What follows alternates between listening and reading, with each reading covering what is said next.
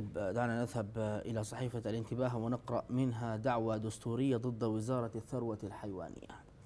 في تفاصيل هذا الخبر أعلن خمسين من مصدري الماشية الحية أنهم بصدد رفع دعوة دستورية ضد وزارة الثروة الحيوانية الخميس لسماحها بتصدير إناث الأنعام إلى الخارج واستمرارها في إهدار موارد البلاد.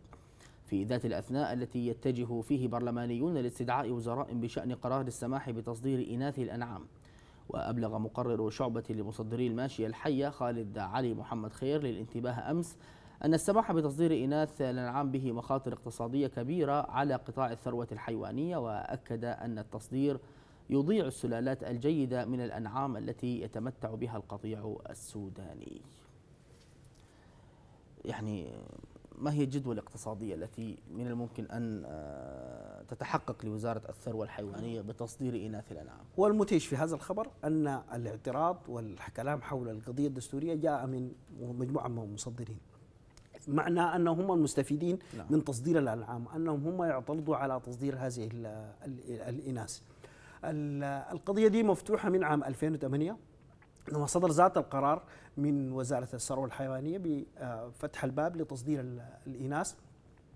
وحدثت ضجة كبيرة جدا في أن هذا يخال هذا يمكن أن يضيع على السودان سلالات أعتقد من فصائل مختلفة. نعم.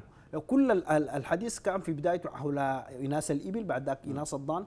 كان الحديث عن أن سلالات سودانية ستضيع أن الدول التي نصدر لها يمكن أن تستفيد من السلالات السودانية وهذا خطر على ثروتنا الحيوانية وخطر على واحدة من ميزاتنا التفضيلية، إحنا قبل قليل نتحدث عن ميزة تفضيلية في الاقتصاد، واحدة من ميزاتنا التفضيلية أنه نحن لدينا ثروة حيوانية بأعداد ضخمة.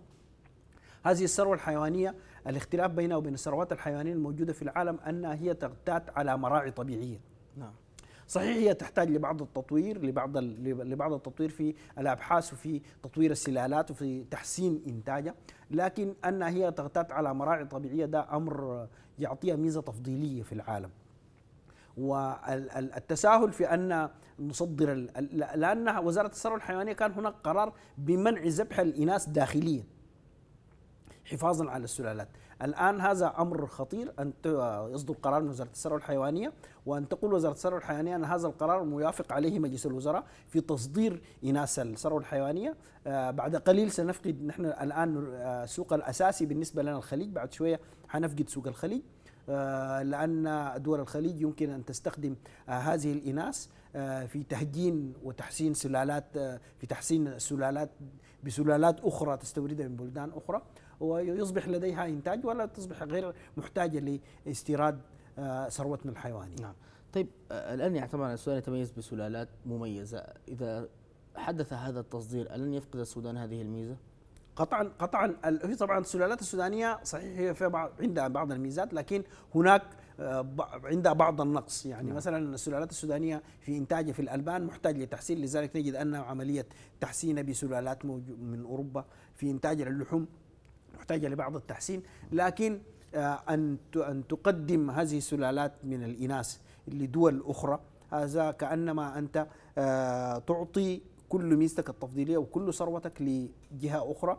آه، يمكن أن تستثمرها يمكن أن تدخل بها في مجالات أخرى. وقطعا سيكون الخسارة عائدة عليك بشكل كبير. هل تتوقع أن يصدر قرار بإيقاف التصدير بعد تصاعد الدعوات في البرلمان وتقديم دعوة دستورية؟ إذا كان حكمت المحكمة الدستورية إذا استطاع البرلمان لأنه القرار صدر كما قالت وزارة الثروة الحيوانية كما نقل عن وزارة الثروة الحيوانية انه القرار صدر من مجلس الوزراء أو وافق عليه مجلس الوزراء. آه، إذا استطاع البرلمان إيقاف هذا الأمر سيكون هذا أمر يحسب له. أنه هو يستطاع أن يتبنى القضية. إذا صدر قرار من المحكمة الدستورية وزارة الثروه الحيوانيه ومجلس الوزراء لا يملك إلا أن يمتثل إلى قرار آه، المحكمة الدستورية. نأمل أن يصدر القرار الذي يحفظ ثروة السودان الحيوانية ويحفظ ميزته التفضيلية ويجعل يحافظ على السلالات السودانية.